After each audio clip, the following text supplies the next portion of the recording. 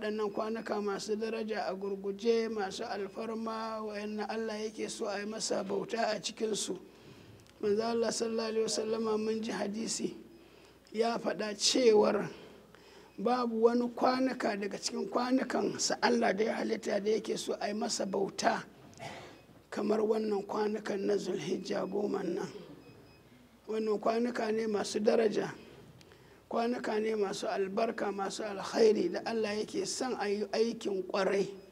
Mu yawaita ayyuka na kirki duk wani aiki na baɗala mu bashi a waɗannan kwanukan darajarsu da haskensu da kabulinsu da samun ijaba na waɗannan kwanukan yana da yawa.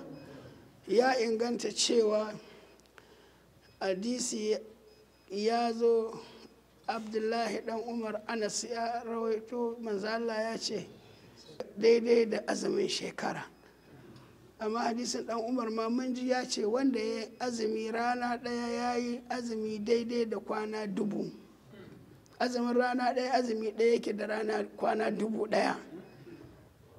Amma idan allah ya taimaki mutum shi bai je aikin hajji baran arfa ya yi azumi to daidai yake da azumin kwana dubu goma. Saboda haka kowane rana da mutum zai tsaya ya azumi ya ibada a ciki allah yana ninninkawa ne ninkin ba ninkin. Sannan kuma duk dare duk dare na waɗannan kwanukan goma ka tsaya kai ibada daidai yake da muwafaka da daren lailatul kadari saboda haka ba lokutan wasa ba ne ba lokuta ba ne da za a abin nan. Wani ya tambayi manzo Allah ya ce ya rasulullahi wannan azumin na ranar arfa. Bayan annabi ya faɗi ninkin ba ninkin sai ya ce me yake yi wa mutum? Sai manzo Allah ya ce yukaffiru sanatan madiyatan wa sanatan mustaqbalatan. In kai azumi ran arfa annabi ya ce zunuban shekarar ka gaba ɗaya da ta shuɗe an kankare an goge ya zama ba zunubi. Shekarar da za ta zo da kwakyariyar duk da za ka yi kafin ka yi ma an goge ba zunuba saboda haka yan uwa kada mu saurari masu cewa ba kyau ba za a yi ba. Annabi ya yi umarni a yi ga kuma nasoshi ga dalilai da yawa. Saboda tsananin isar waɗannan kwanukan ne allah ma yi rantsuwa da su ya ambace su a cikin littafinsa mai girma. Walfajari walayalin ashar. Kowa ya tsaya da addu'o'i musamman mu a najeriya. Ya zama wajibi mu raya dararenmu da ranekunmu kuma mu yawaita karanta alkur'ani da zikiri ga manzon da salati ga manzon allah kuma mu dinga tawassuli allah gyara mana ƙasanmu matsaloli da damuwoyi allah ya kau da su.